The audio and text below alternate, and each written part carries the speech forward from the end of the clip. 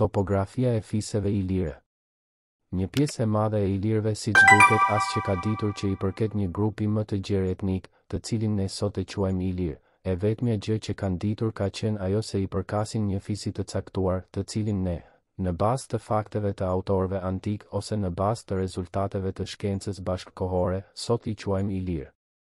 Këto fise të cilat i njohim edhe me emra të veçantë në viset perëndimore të Ballkanit kanë qenë rreth shtatëdhjetë, ndër të cilat disa që kanë qenë fise shumë të vogla.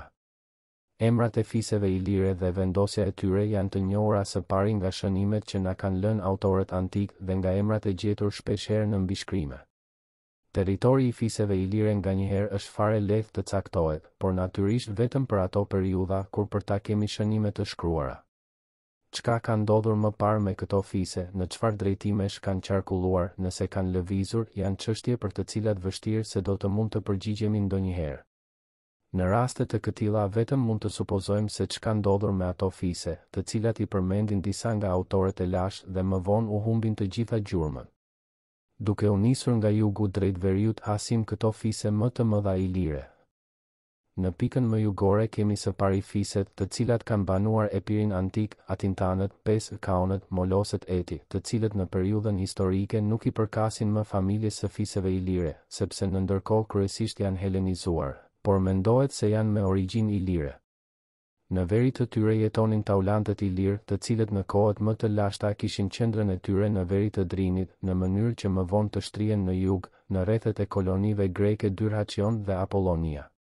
Simbas disa burimeve ky fis ka qenë i përbërë prej disa fisesh më të vogla siç janë Helidonët, Chelidonioi, Sesaretët, Abrët, Abrei, Partinët, Partini, por shpeshherë këto fise përmenden edhe si të pavarura.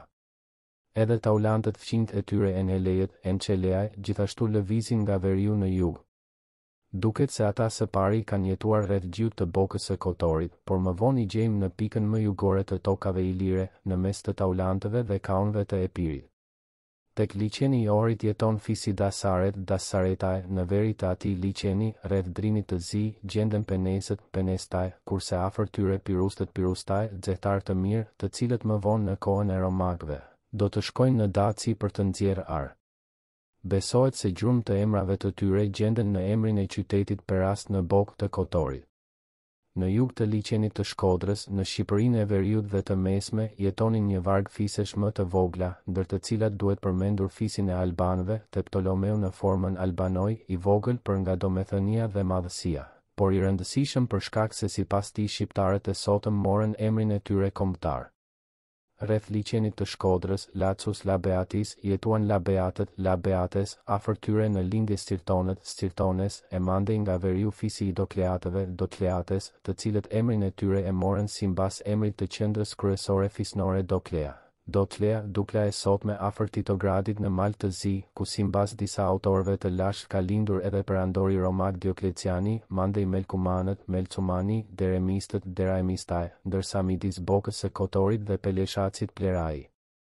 Vazhdon fisi i Ardiejve, Ardiai, Vardai, të cilët në luftrat kundër romakëve do të luajnë një nga rolet kryesore. Më parë, deri në shekullin IV para e.r. ata kishin qendrën e tyre në bregun e djathtë të Neretvës, por prej andej u detyruan të shpërngulen nën presionin e keltëve. Së pari kaluan në bregun e majtë të lumit e mandej shkuan në brendësi, ku përleshen me autariatët. Pasi e humbën luftën u shpërngulën në drejtim të dejtit dhe zunë bregun prej Neretvës nga jugu, deri në Vjosë të Shqipërisë. në shekullin II para e.r. Ardiejt gjenden në kulm të fuqisë së tyre. Shpejt hynë në konflikt me grekët e me romakët dhe pasi pësuan disfatën definitive nga romakët në vitin njëqind e tridhjetë e pesë para e.r. u detyruan të shpërngulen përsëri në drejtim të brendësisë.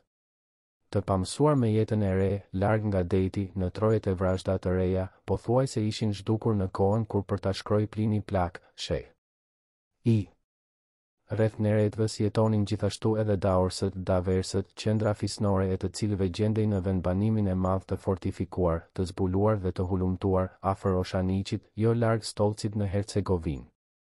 Në veri të tyre jetonin dalmatët, delmati, të njohur nga luftrat e tyre të gjata e të rrepta që zhvilluan me romakët, për shkak të atyre luftrave ata u bënë sinonim i rezistencës ilire kundër penetrimit të tyre në bregun lindor të Adriatikut, prandaj edhe e quajtën Dalmaci provincën e tyre në pjesën perëndimore të Ballkanit. Dalmatët së pari, sa mund t'i përcjellim lëvizjet e tyre në bazë të lajmeve të autorëve antikë, jetuan në brendësi, në Hercegonën e sotme, ku gjendej edhe qendra e tyre fisnore, Delminiumi. Në shekullin II para e.r. u lëshuan në det duke pushtuar bregdet.